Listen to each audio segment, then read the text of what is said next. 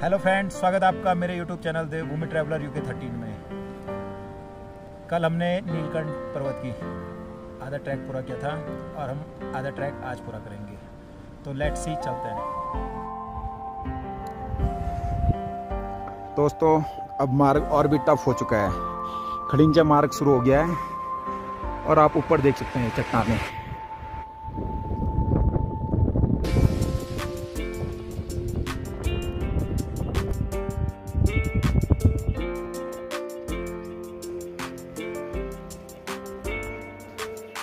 दोस्तों अभी नीलकंठ पर्वत बिल्कुल लग रहा है कि हमारे सामने पे है लेकिन ऐसा नहीं है ये हमारा बिल्कुल भ्रम है।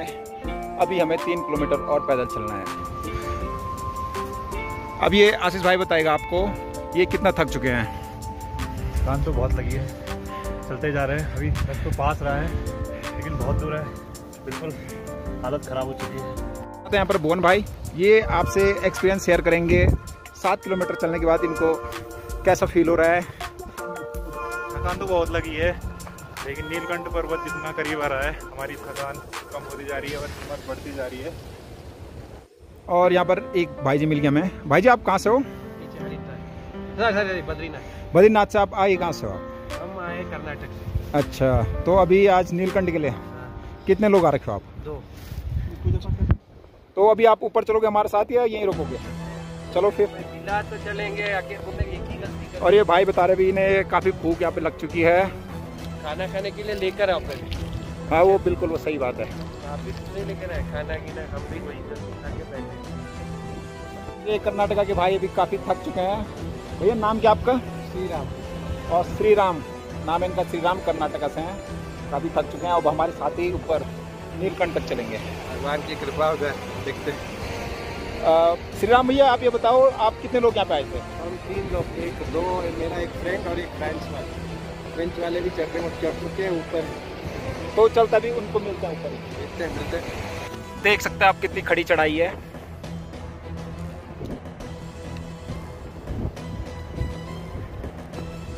और अभी तक साढ़े सात आठ किलोमीटर लगभग हम पैदल ट्रैक कर चुके हैं।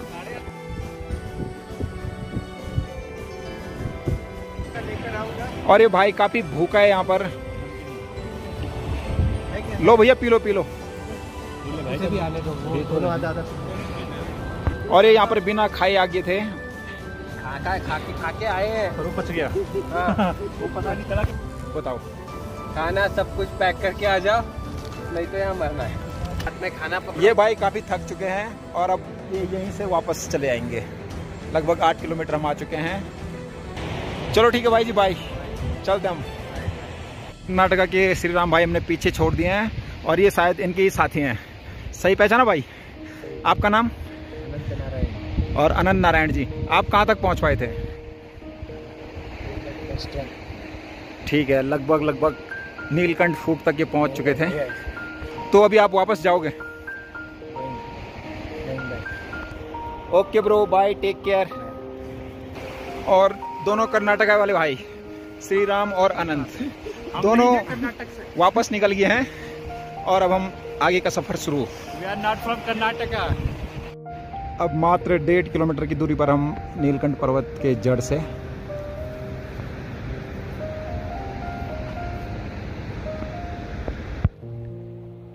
और लगभग 4000 मीटर की हाइट पर हम पहुँच चुके हैं।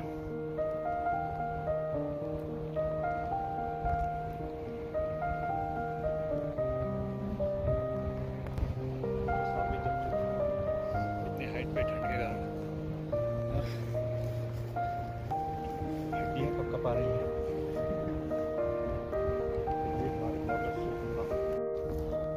अभी हम लगभग साढ़े आठ, नौ किलोमीटर कवर कर चुके हैं। बिल्कुल सामने पे नीलकंठ पर्वत। और काफ़ी थक चुके अब यहाँ तक। आपको यहाँ से पीछे का व्यू भी दिखा लेता हूँ।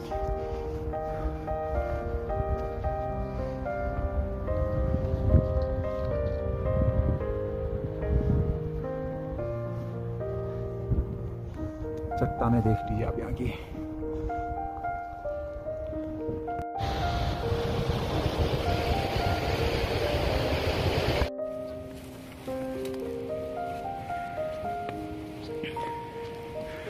रास्ता पूरा पथरीला हो चुका है। वाह आगे का नज़ारा देखिए आप।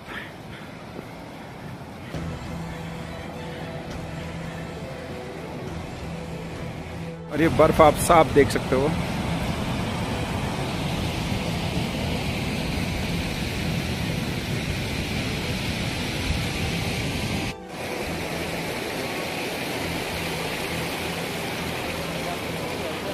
और अभी लग रहा है हमें जैसे हम जन्नत में पहुँच गए हों।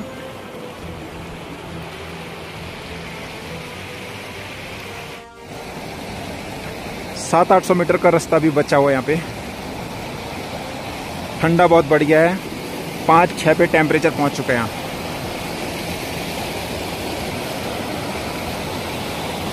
बगल पर आप नदी को देख सकते हैं।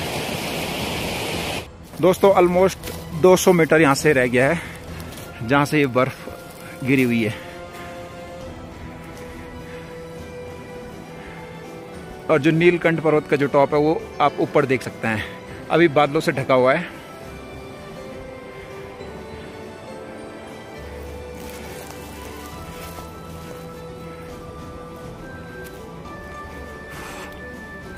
गाइस, आप ये नीचे घास देख सकते हैं, जो बर्फ़ के कारण पूरी तरह से खराब हो चुकी है।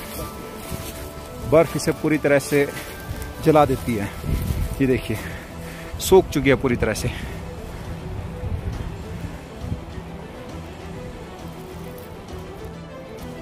देख सकते हैं आप, बिल्कुल खड़ी चट्टाने।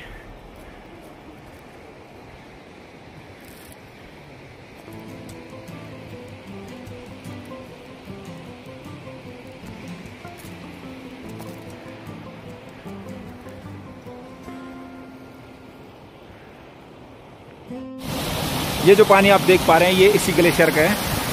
और मैं इस पर हाथ लगाने की गलती अभी बिल्कुल नहीं करूँगा।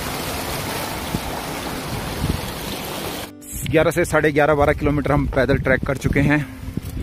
और अभी चौवालीस से पैंतालीस सौ मीटर की हाइट पर हैं। ऑक्सीजन लेवल काफ़ी कम हो चुकी है यहाँ पे।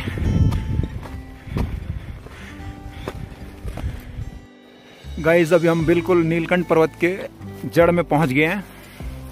ये देख सकते हैं आप। और ये देखिए, आप ये जो बड़े बड़े जो बोल्डर यहाँ पे आ रखे हैं, ये ऊपर से ये चट्टाने टूटती हैं, फिर ये बड़े बड़े बोल्डर यहाँ गिर जाते हैं। ये देखिए, दो भूखे शेर, और यहाँ बर्फ़ के अलावा और कुछ नहीं मिलता है, और अपना खाना हमने वहाँ पे कर्नाटक वाले भाई को खिला दिया था। दोस्तों 4700 सैतालीस मीटर की हाइट पर अभी हम हैं, और अभी बिल्कुल बुरी तरह से हम थक चुके हैं। देख सकते हैं आप।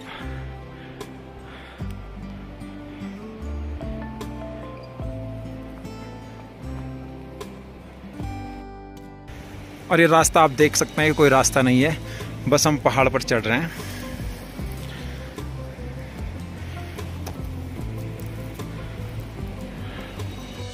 दोस्तों, अभी हमें 5000 मीटर की हाइट पर, लगभग आज हम 12 किलोमीटर चले हैं। और अब आप ये देख सकते हैं 5000 मीटर से ऊपर। अब ये सिर्फ़ बर्फ़ ही बर्फ़ है यहाँ पे। इससे ऊपर जाना, वहाँ ऊपर सिर्फ़ खतरा ही है। ये देख सकते हैं आप, बर्फ़ है और फिर चट्टान है।